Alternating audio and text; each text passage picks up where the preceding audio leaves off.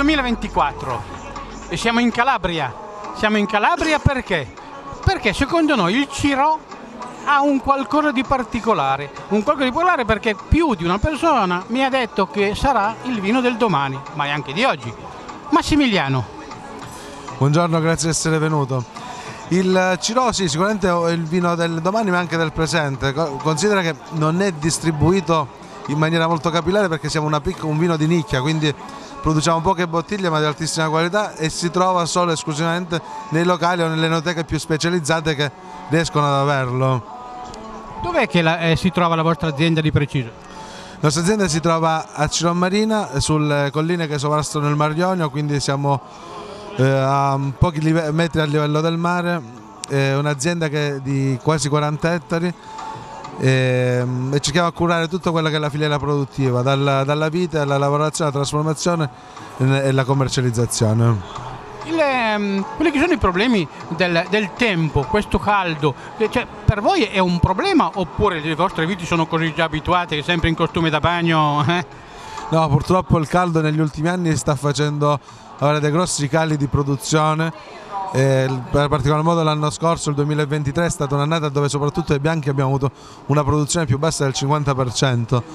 Eh, stiamo cercando a prendere dei rimedi, però anche i pozzi iniziano a risentire, quindi speriamo che sia solo una fase passeggera, perché il caldo sì, fa ridurre la quantità e aumentare la, la, la qualità del, del, prodotto, però ora sta, sta iniziando ad essere troppo caldo pure per noi in questo momento, quindi siamo ad aprile, anche le vostre viti piangono? Cioè nel senso che buttano fuori le, le, gli umori?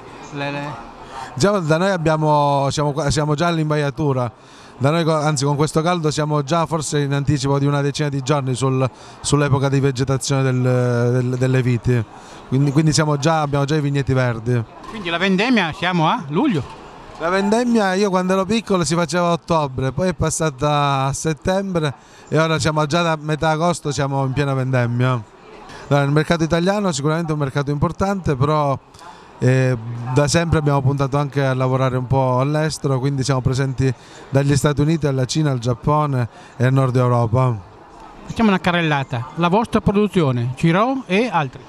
Noi, noi, siamo specializzati nella produzione di vini Ciro, quindi nella varietà eh, classica del Ciro come il Gaglioppo e il Greco, il Gaglioppo per il rosso e il Greco per il bianco, anche se abbiamo fatto de delle piccole produzioni usando altri vitigni principalmente autoctoni come il Magliocco, il Pecorello, eh, il Sirà per produrre degli GP Calabria. E avete delle bottiglie classiche da 750 cc, ma io ho visto che avete quasi, quasi dei, dei, dei tini qui a momenti, poi li facciamo vedere tutti.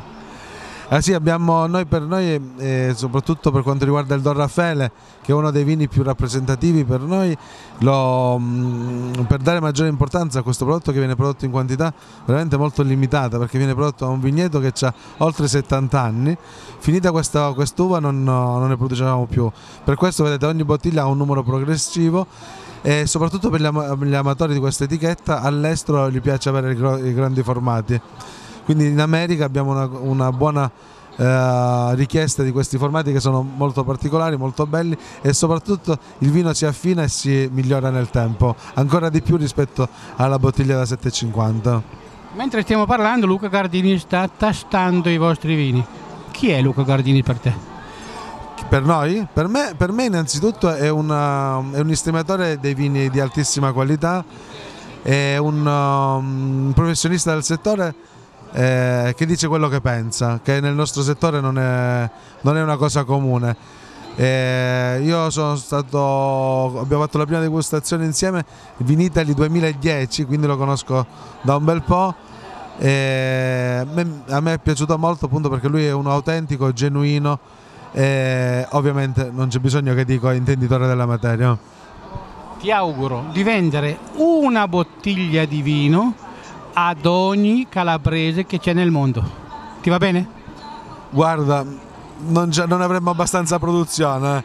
Eh, quindi il, no, il, nostro obiettivo non è quello di produrre milioni di bottiglie, non lo è mai stato da, da quando abbiamo iniziato questa avventura. Il nostro obiettivo è fare un prodotto autentico, un prodotto che rispecchia il nostro territorio, che esporti nel mondo le caratteristiche e le peculiarità del, della nostra Calabria e, e soprattutto Uh, rivolto a un pubblico di nicchia che apprezzi l'altissima qualità dei nostri vini.